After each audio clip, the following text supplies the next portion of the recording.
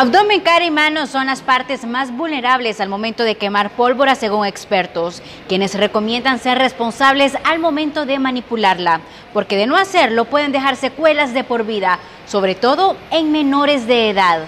Durante la temporada de fin de año, de acuerdo con las estadísticas, las atenciones en su mayoría se focalizaron en niños entre los 5 a 10 años de edad. Pero veamos cuáles son las quemaduras que puede provocar la pólvora.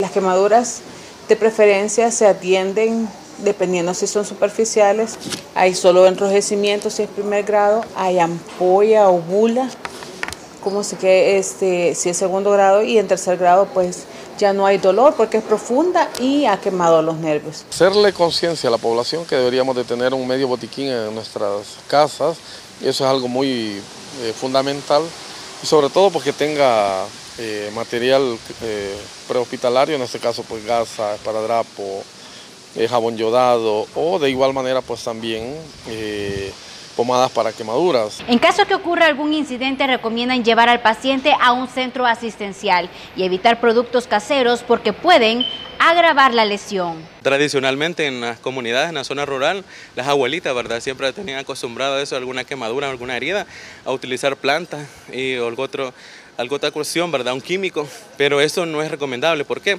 Porque lo que vamos a hacer al momento de una quemadura tenemos expuesta lo que es la piel y esto podemos provocar lo que es una infección. Pues lo que nosotros recomendamos es pues inmediatamente colocar agua fría, eh, agua a temperatura ambiente, una compresa limpia en la quemadura, inmediatamente, inmediatamente lo vamos a trasladar hacia un centro asistencial.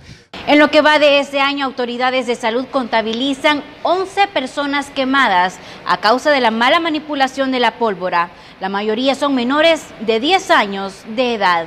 Con imágenes e informe de Marcela Rivera.